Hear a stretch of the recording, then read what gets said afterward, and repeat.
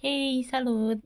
Dacă tot e frig afară, hai să vă povestesc um, cum uh, a stat motănel aici lângă mine pe pat și uh, m-a încălzit, i-am zis uh, tati mi-e frig și atunci el a mai pus o păturică pe mine, asta și s-a întins lângă mine aici pe pat și uh, m-a luat în brațe, m-a încălzit, i-am zis, tati, mi sete, mi-a dat și un pahar cu apă minerală.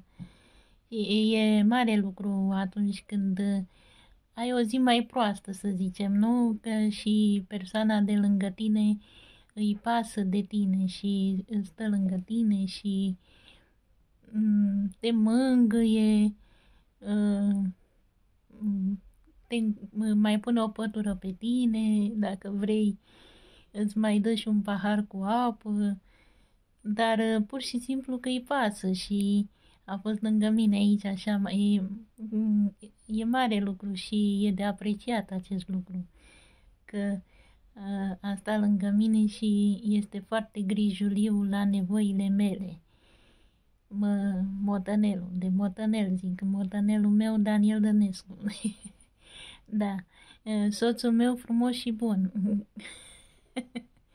A, așa e, mai, se mai numește și soțul meu frumos și bun, care are grijă de mine și mă protejează, mă încălzește cu păturică, cu mă mângâie, ați văzut pe filmare. da. Păi și eu sunt lângă el aici și am și o grijă de el. Tot ce vrea să mănânce bun, mă duc îi cumpăr. Sigur, păi ne ajutăm așa unul pe altul și uh, suntem atenți la nevoile uh, pe care le avem în momentul respectiv.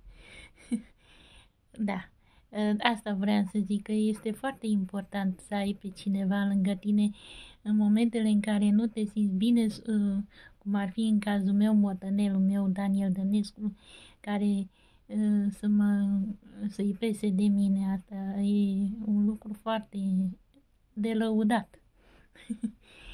da, și de apreciat.